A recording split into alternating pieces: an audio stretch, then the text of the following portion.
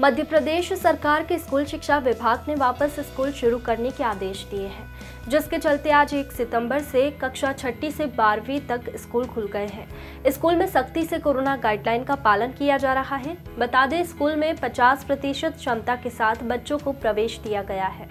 Corona महामारी को देखते हुए और सरकार की गाइडलाइंस को फॉलो करते हुए स्कूल संचालित किए जा रहे हैं। स्कूल में प्रवेश के साथ बच्चों के हाथ सैनिटाइज कर टेम्परेचर चेक किया जा रहा है।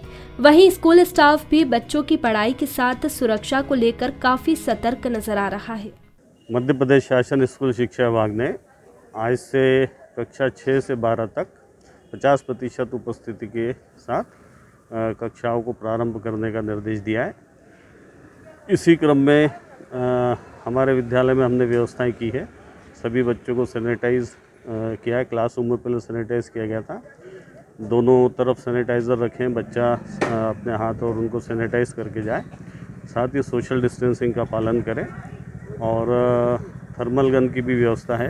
कोई बच्चे का टेम्परेचर ऐसा हो तो उसको भी हम अलुफ कर देंगे अलग करके और उसको आगे वैसी व्यवस्था सुनिश्चित करेंगे। 50 परसेंट बच्चों के आने के निर्देश हैं। कक्षा छः से बारह के लिए। बच्चे जो है पर्याप्त सोशल डिस्टेंसिंग का पालन करते हुए मतलब एक टेबल पर एक ही बैठे और अगला जो पास में बैठे वो चार से पाँच फीट के डिस्टेंस इतना रखें। महीनों बाद स्कूल खुलने पर बच्चों में काफ़ी उत्साह देखने को मिल रहा है। नमस्कार, मेरा नाम है सरीना सेन। मैं क्लास एलेवेंथ में पढ़ती हूँ, विद्यालय government girls higher secondary school Dussehra Maidan. हमारे स्कूल में कोरोना प्रोटोकॉल का पूरा पालन किया जा रहा है। सोशल डिस्टेंसिंग रखी जा रही है। जैसे कि आप देख सकते हैं कि गेट पर ही हमारे यहाँ पर सैनिटाइजेशन हो रहा है और प्रत्येक बच्चा है जो, वो मास्क लगा कर ही आ रहा है। और कभी जो बच्चा मतलब ये पालन नहीं कर रहा है उसका, उसको पनिशमेंट भी दी जा रही है। और स्कूल में पूरी तरह से है ना कोरोना के लिए बचाव किया जा रहा है।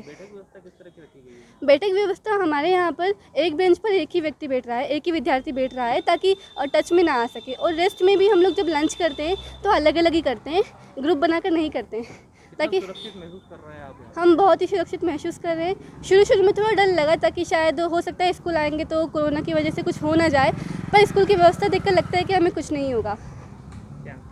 बहुत ही पॉजिटिव माहौल है स्कूल का। और पढ़ाई भी अच्छी तरह से हो रही है। शुरू में मंगलवार और शुक्रवार को स्कूल लग रहे थे हमारे पर अब कंटिन्यू लग रहे हैं तो अच्छी तरीके से पढ़ाई हो रही है। व्यक्ति और बच्चों के भविष्य निर्माण के लिए शिक्षा काफ़ी ज़रूरी है। इसी को देखते हुए स्कूल वापस शुरू किए गए हैं। उज्जैन से मृदुभाषी के लिए अमृत बैंडवाल की रिपोर्ट। मृदुभाषी से जुड़ने के लिए वीडियो को लाइक शेयर और सब्सक्राइब करें। खबरों के नोटिफिकेशन के लिए बेल आइकन दबाना ना भूलें।